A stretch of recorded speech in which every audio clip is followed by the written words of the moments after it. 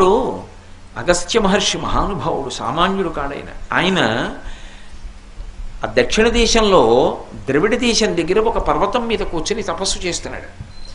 ద్రవిడ దేశం వాళ్ళకి కావేరీ నదే ప్రధానమైనటువంటి నది. మిగిలినవి ఎక్కువ నదులు లేవు. వాళ్ళందరూ కూడా కావేరీ నది మీద ఆధారపడతారు ఎక్కువగా. అప్పటికి కావేరీ నది లేదు. వాళ్ళకి నీళ్ళు లేక ఇబ్బంది పడుతున్నారు. ఇప్పటికీ మీరు చూడండి అందుకే ద్రవిడ దేశంలో ఒక అలవాటు ఉంది. వీధి వీధిన విఘ్నేశ్వర దేవాలయాలు ఉంటాయి. వీధి వీధిన. అక్కడ మీకు ఇంకొక చమత్కారం ఏమిటో తెలుసా? ఇప్పుడు ఆ అలవాటు తగ్గిపోయింది కానీ పూర్వం ఒక అలవాటు ఉండేది. దొంగతనం చేసిన విఘ్నేశ్వర విగ్రహాన్ని ప్రతిష్ట చేస్తే బాగా ఫలితాలు ఇస్తుంది. అందుకని ఏం చేస్తారంటే వీధిలో ఎక్కడ చూసినా విఘ్నేశ్వరుడి దేవాలయాలేగా వాళ్ళెవరో ఆ చెట్టు కింద విఘ్నేశ్వరుడు మూర్తిని ఎట్టాలంటే ఈ మూర్తిని ఎత్తుకుపోతారు. అందుకుని ఏం చేస్తారంటే మన మూర్తిని ఎత్తుకుపోతారేమో అని ఆ చుట్టుపక్కల ఉన్న వాళ్ళందరూ ఆ విఘ్నేశ్వరుడు చూసుకుంటూ ఉంటారు భక్తితోటి. అదో చమత్కారమైన సిద్ధాంతం.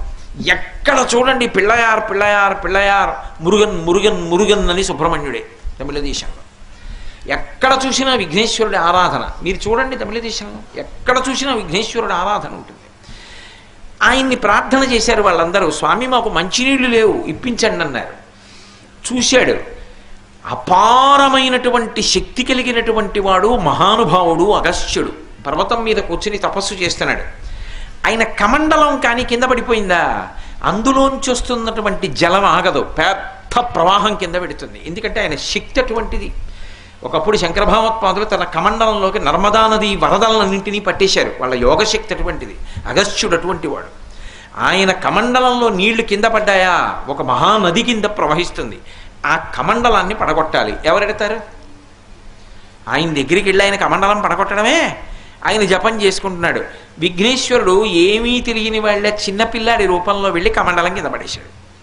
ఆ కమండలంలో నీళ్ళన్నీ ఒలికిపోయి ఒక మహానదీ ప్రవాహం కింద కావేరీ నది ప్రవాహం కింద వెళ్ళింది. అగస్త్య మహర్షి చప్పుడైందని ఇలా చూశాడు. కమండలం ఒలికిపోయి నీళ్ళన్నీ ఒలికిపోయి ఎవడు రా అని చూశాడు. దూరంగా అగస్త్య మహర్షి లావుగా పొట్టిగా ఉంటారు. విఘ్నేశ్వరుడు లావుగా పొట్టిగా ఉంటాడు. పిల్లవాడి రూపంలో పరిగెడుతున్నాడు. ఈ పిల్లాన్ని పట్టుకుని కొట్టేస్తానని ఆ కమండలం పడేశాడని వెనకాతల పరిగెత్తాడు. పరిగెత్తి పరిగెత్తి దగ్గరికి వెళ్ళి చెయ్యట్టుకుని చూసేటప్పటికీ విఘ్నేశ్వరుడిగా సాక్షాత్కరించాడు.